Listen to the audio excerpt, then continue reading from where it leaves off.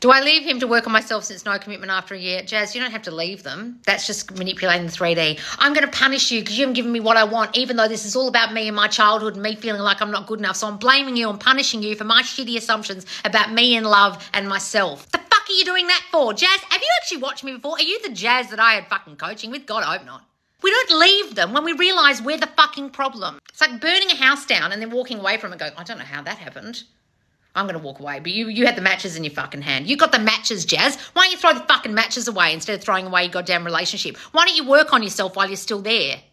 He's not committed to you because of your thoughts about yourself. Why don't you tell me about your goddamn childhood and why you've got yourself in a situation where you haven't been committed to for a full fucking year and why you think you're not good enough to be the goddamn girlfriend? It's nothing to do with him and you could leave him and he'll find another bitch on Tinder tomorrow and never think about you again. You'll be like, oh, fuck didn't work. And I'll say, yeah, because you didn't change your fucking thinking about yourself. You're going to change your thinking about yourself or are you going to blame him for your thinking?